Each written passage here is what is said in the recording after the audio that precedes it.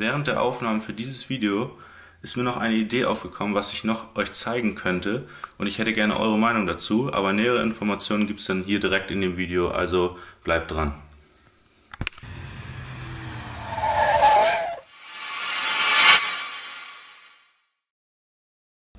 Hallo Freunde, heute geht es darum, dass ich mit Oskar zum TÜV fahre und ich dachte einfach, ich kann euch da auch mal mit hinnehmen, also dort werde ich nicht viel aufnehmen, das ist glaube ich nicht so angebracht.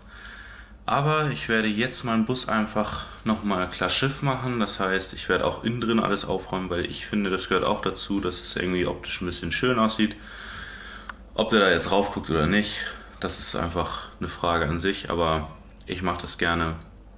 Und ja, dann sehen wir am Ende dieses Videos hoffentlich, ob Oscar TÜV bekommt oder nicht. Und falls Mängel auftauchen, kann ich euch dann mitteilen, worauf ihr das dann achten müsst oder so. Oder vielleicht sind es auch Sachen, die öfter mal auftauchen. Das heißt, es ist auch ein guter Tipp für euch, dass ihr wisst, was, worauf ihr achten müsst. Also legen wir mal los.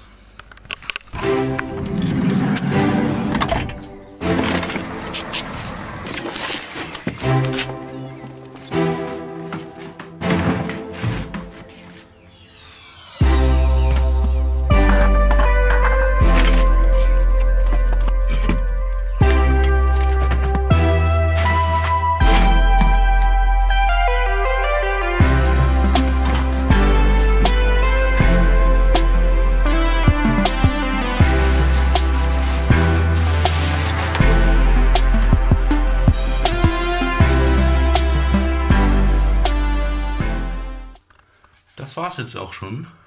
Und zwar habe ich jetzt alles hier unten in meinem Keller gelagert. Und übrigens, falls ihr mal Interesse habt und wissen wollt, was ich alles immer dabei habe, gerade in diesen roten Kisten und sowas, schreibt es gerne mal unten in die Kommentare, gebt einen Daumen nach oben.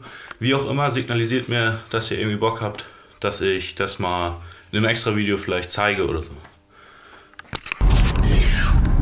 So, jetzt geht's auf zum TÜV. Ich bin unterwegs und ich bin mal gespannt. Schauen wir mal. So Leute, ich bin jetzt wieder zu Hause.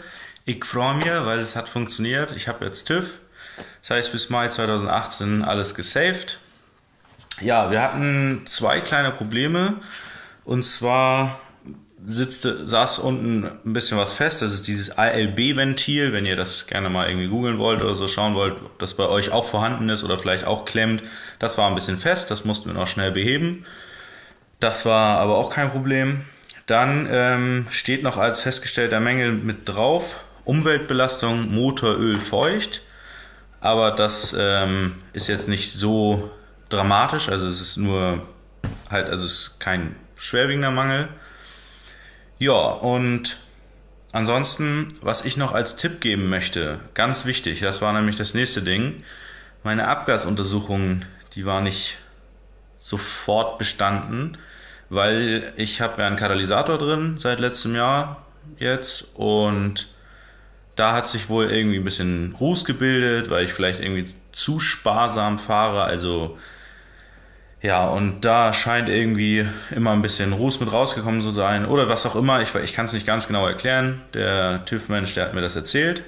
Und dadurch mussten wir halt dann nochmal eine Runde fahren, wirklich mit maximaler Drehzahl, wirklich mal ordentlich eine Runde fahren.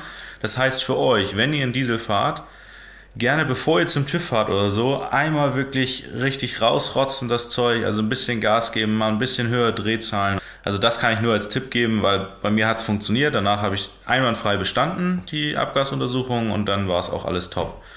Ja, und ansonsten, wenn euch das Video gefällt, wisst ihr ja Bescheid. Gebt einen Daumen nach oben. Wenn ihr noch kein Abonnent seid, gerne abonnieren. Und dann sehen wir uns hoffentlich im nächsten Video wieder. Also haut rein.